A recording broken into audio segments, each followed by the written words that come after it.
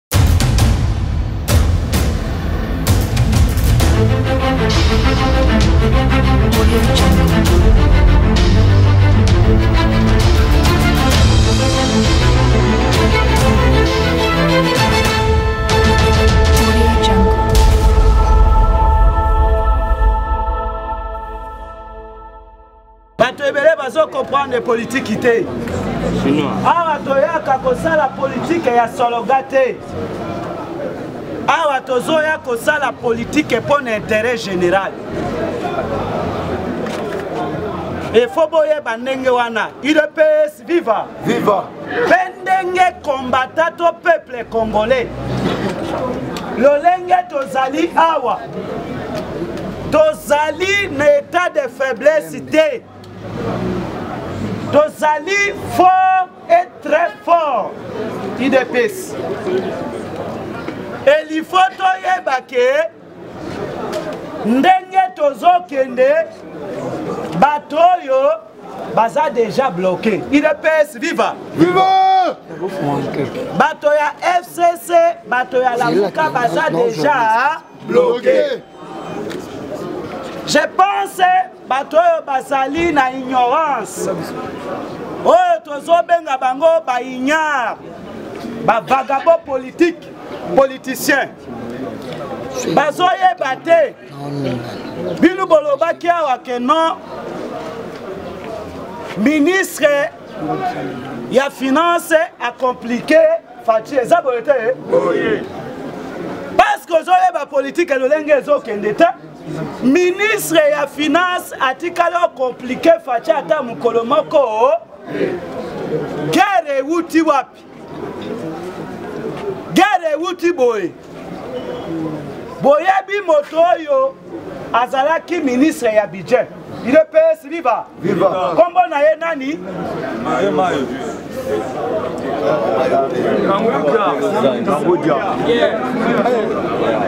udps viva bo répondre udps viva, viva! moto oyo azalaki ministre ya budget ezali kanguda kanguda aza moto ya fcc eza boye te ntango azalaki na budget ezalaki na bamembre ya kamere na kati ya biro na ye udps viva viva bato oyo babandaki osala na biro ya kanguda sete bato ya kamere kanguda asali nini azwi bamembre ya ync akomisi bango bato ya parti politike eh, na ye udps viva ntango kaka kamera ye lokola amoni ke mpe na bidje kuna lokola amoni ke ndenge eza boye jamais nakoki kotravaille na bato wana yango balobaka l'expérience compte lelo okoki ozala licencie na économie licencie en droit mais yeba ke oyo asilisa na 98 asali mosala aleki yo yo moto osilisi lelo pourkui aleki yo bokoki kozala meme ara moko ya balicencie me ye aleki yo mpo na experience parce que azali nani ancien udps viva ntango eloko wana esalami sikoyo kamere kokota na ye meme na biro ya, ya ministère ya finance ezalaki na bato ya, ya kanguda bozokanga bien ntango moto ya kamere akoti asali nini abengani bato nyonso ya kanguda idps viva sikoyo azwi bato na ye asali nini ace idps viva moto ata moto oyo aza na experience ata mokolo moko te moyen ya travailler bien eh, eza te c'est ça blocage esika ekotaki bozokanga bien udps viva mais faci ayebaki alobi bato oyo baza bato ya nzungu moko bozo comprendre ngai meme kamere na présidence soki boyoki makambo oyo batumbi permanence na ye parce que azoyoka diare déjà bozo comprendre nga asala eloko wana mpo na koloba nini ke bakombata nde basali nini bozoyoka ngai eza bastratégie ya fcc e kombata tozala na banere solide ozotumba eloko na yo ya yo moko udps viva eske idps aza na mbeli idps aza na moto idps aza na almete boyoka idps atumba siège ya motu me ndenge nini ya atumbi ye moko ya des problèmes bozo comprendre ngai eh? toyaka kosala nde po politike ezali guerre de soki oza na banere solide te moya kocomprendre politike eh? eza te parceke bato wana bayebi ke tozali kose debarase na bango ezali pouvoir ya peuple eh? udps viva biso toza na kati ya coalition me biso tolingi coalition oh? bozo comprendre balangage na ngai je pense lelo nakoloba ebele te mais soki moto oyo azali actif politique efo acomprendre ngai idps viva biso mpe tozoluka coalition yango tosala nini tokawanaapanzana base nyonso esengi topanzana bozoyoka nga bien mais chef de l'état akotikala kodesoudre parlement te parce que il y a des stratégies balobi na parlement boye ezali je pense na article 20, 24 na constitution na biso soki ke il y a un problème entre gouvernement et parlement c'est ça que chef de l'état doit prendre les grandes décisions de dissoudre par parlement bozoyoka nga bien me boyeba ke lolenge bino bozozela wana ezali ede ya faci te parce que nous avons l'injonction ya communauté ete internationale états-unis d'amérique balobi ke tosepeli na coalition te bozoyoka nga bien eh? c'est-à-dire fra, faci doit fa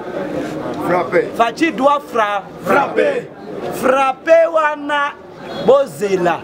yango wana bozomona force étrangère udps viva viva nga namoni force étrangère na congo te biso nyonso tomoni yango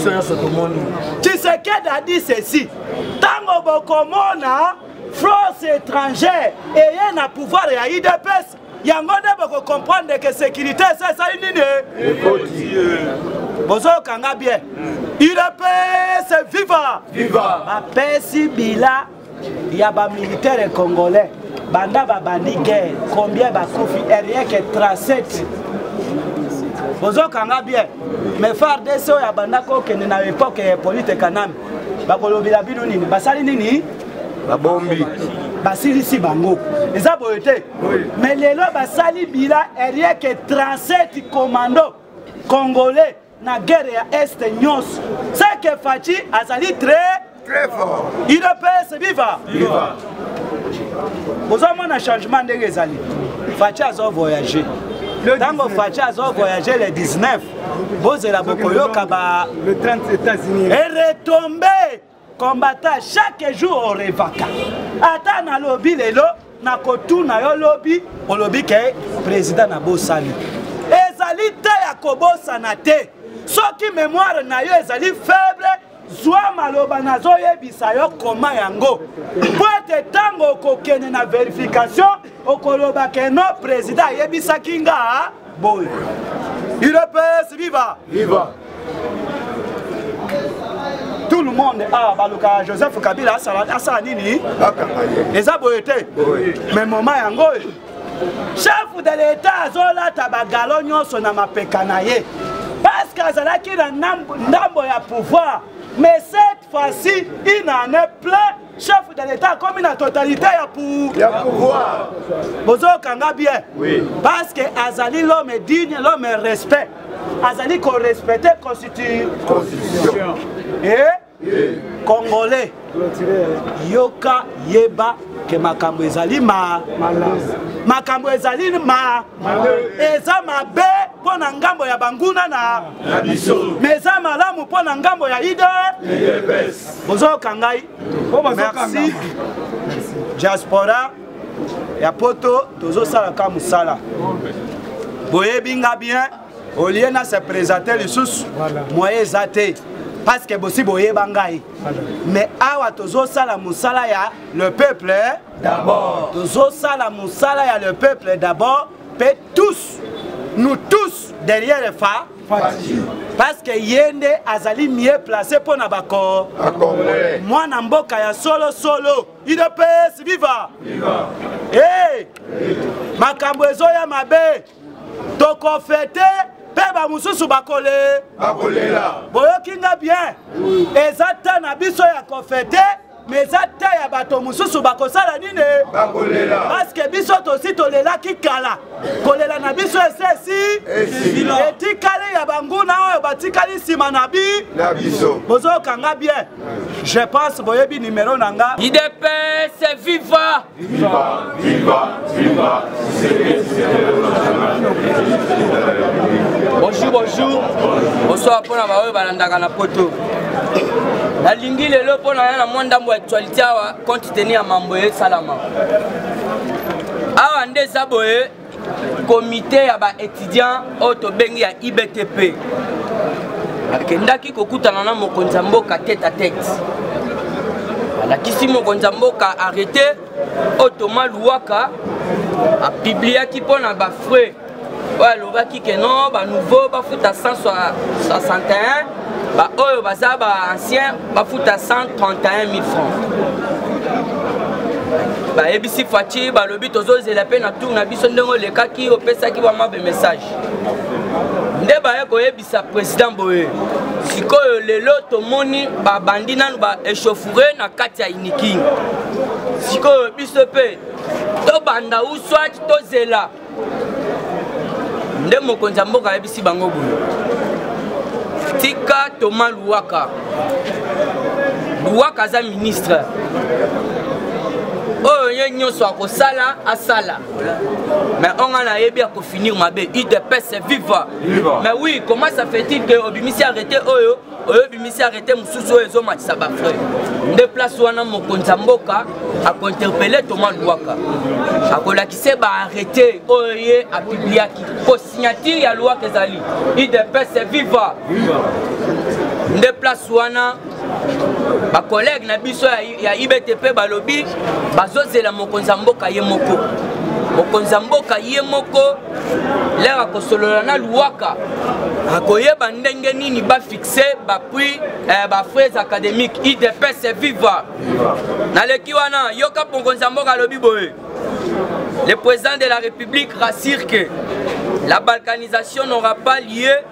tant qu'il serait président tobetana mokonzi ya mboka maboko makasi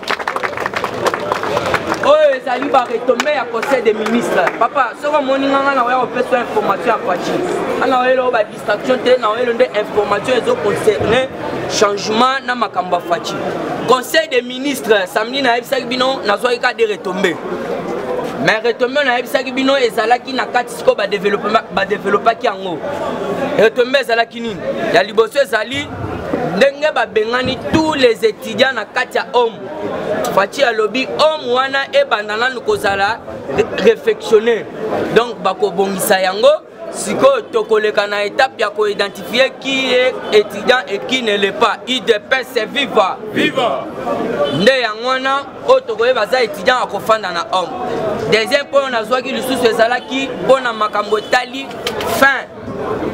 fin ya enquête ya antonov 72 batie batie point final na makambo etali enquête boite noire bakozwa yango bakobwaka yango na ndenge ya libanda po etindela biso baoyo tobengi résultat e hey, yaya me oza mokolo oza papa comprenez que pourquoi batie kaka fin ya enquête ya antonov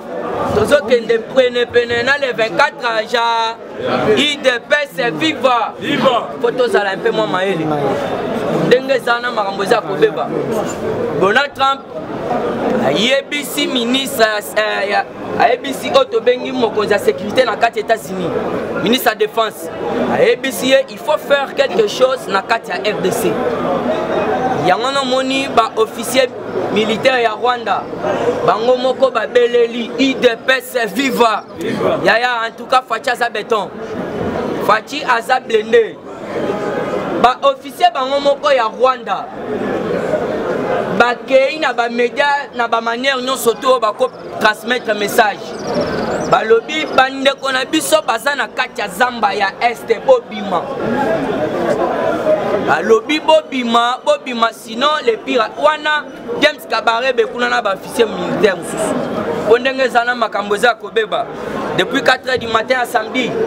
na mboka oyo tobengi ya fizi eza commune ya minembwe donc colonel makanika ye acomprendre des affections na kati armée na biso acomprendre ke frdc commis spécial alongwe po aza rwandais akia korejoindre lisusu bandeko na ye barwandais po nde tozoloba boye bango bazalaki baza koopere bamiracle na bango na fizi donc fizi ezali tout près donc c'est-à-dire 3 km de minembwe centre donc ba frdc babetaki bombe balanse bango bombe etumbi place oyo bazalaki yango wana omonaki jour wana nayebisi bino trois villages oyo ezalaki conquis par barebele bango moko batiki na baarme batiki baarme lour bakimi idps viva batiki pourquoi parce que bacomprendre que frdc moto azoya nango eza moto ya baje te après avoir koconquérir madina mboka mosusu ekwei udps viva se depuis lobi na 10 heure mboko tobengi salamambila salamambila wana eza lokola mwa commune ekwei lisusu ezalaki na maboko ya barebele yango wana omoni faci alobi tant que je serai président de la rdc la balkanisation n'aura plus lieu faci a détesté et, euh, comportement ya baétudiant alobi donc bolakisi ke na futur toza na bacadre te idps viva comportement oyo baétudiant basali donc c'est-à-dire na futur tokozala na bacadre te comment ça fait ke yo oza cadre universitaire ozopalola machete yaya faci aza mayele yoka eloko oyo nazwi oyo tobengi ancienne président ya Union africaine. Donc moi si ya Zuma, UDPS viva. Viva. Moi si ya Zuma alobi na Josie FM. Na Zuma maloba muke na pesa yo papa na ngai ya na nga oyo kande biso toloba kawa. Ofati aza solution ya Afrique là mususu okomona neti to ko sa mais yoko to bengi ancien président ya ya oyo to bengi IA alobi nini? L'ancien président, l'ancienne présidente de l'union africaine madame zuma déclare ceci félix kisekedi est un cerveau politique africain dans cette génération actuelle Il est le seul le plus grand diplomate que nous avons en Afrique face à la politique étrangère. La dernière fois que j'ai assisté à son plan, il était en face des fois que j'ai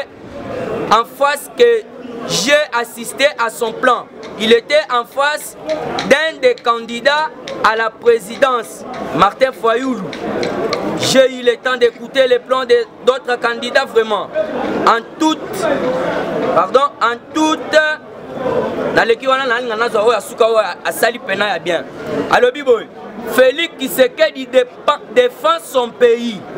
et l'Afrique partout. Comprenez le lobby. Félix Tshisekedi défend son pays et l'Afrique partout où il est, partout où il part. Il est très mature. Quand il part avec sa politique, il y a possibilité de voir les Africains vivre dans l'amour comme un seul homme. Maman, on a ma boucle. mama wana mabe mama wana revele biso ke no na afrique moto oyo akomi na diplomatie uswa to aza politicien ya makasi na afrique eza faci po faci azali moto oyo monde mobimba bakomotya elemesu yoka eloko balobi véhicule blende lisusu ekwei kaka kuna na beni mpo na korenforce oyo tobengi frdc yaya faci alobaki kaka liloba moko lere akenda na est lere bamama bapapa wana bazobenge président alobi non non non non non non bobenga ngai président te ngai naza président na bino te nakokoma président na bino mokolo yo kolala na kimia lisasi ebetami te na est udps viva mais lelo na est bandeko na biso wana le premier balali lisasi ebetami te mpo faci alobi ndenge bango bazoloba balkanisation me bokimisa nde bango na kati ya zamba yango wana omoni james kabarebe na bandeko na ye balanse message na zamba epuis babandi komona bato bazobima barebele jour wana nayebisi bino 16 présumé rebele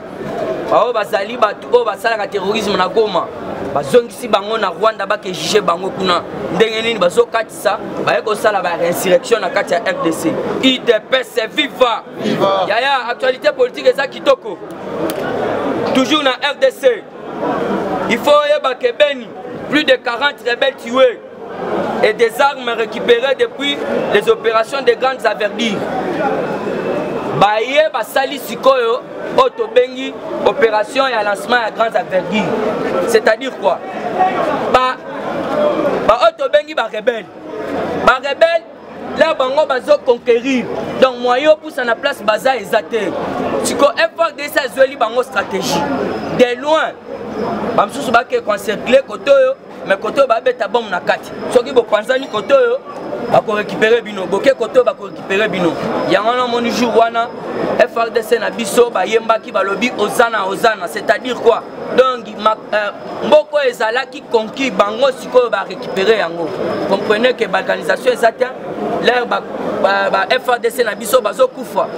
muzito na mbongo bazoloba te me bazokufela kaka mpo na mboka oyo tanke bango moko balobi ke balkanisation eza te amoke bino moko bacongolais bolinga balkanisation na bino udps vive après les échauffourées de linikin le chef de l'état a rencontré baoyo tobengi bapolisier ya kaluka yaya fatia simpanda bango bamosusu babanda olia bamosusu babandaki kosala nini naamona kaka bala moko batiki kolia bakoma owelela bateni faci apesi bango mbote donc nazoyebisa yo esengo ya trop faci ake kopesa basoda Ting. 1500 dollars à chacun. IDPS est vivant. C'est du jamais vu.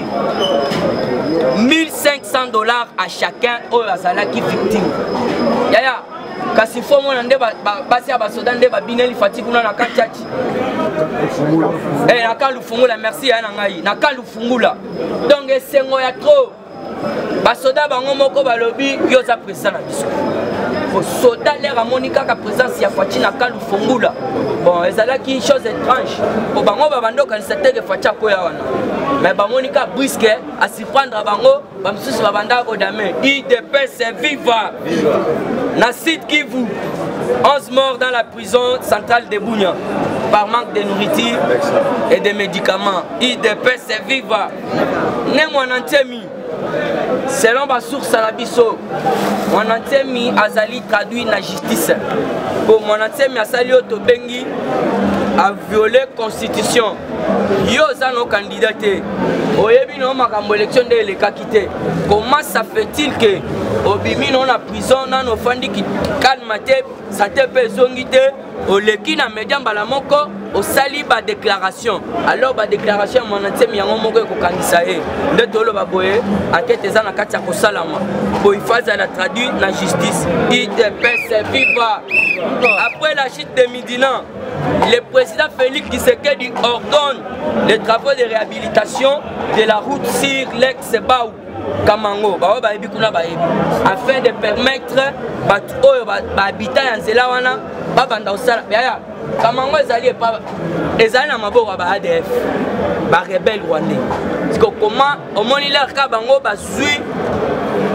baconquerir village batu wana fati apesi mitindo alobi bonzela eza bia te yaya moko auti oloba babanda okende makolo ya si moyen kar eleka eza te nde fati aordonne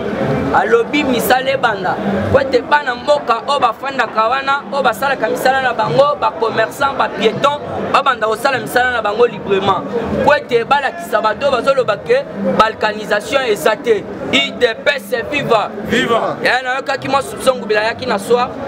ayaki na soir na bokasi alors yango wana okonstate kolobaloba na biso trop mais azosala na eloko te balakisi nga kote oyo bakoma ozwa mwa badeshe mais deshe esilaka te neti lelo mosusu ebakisami alors ngubila tootya bino angarde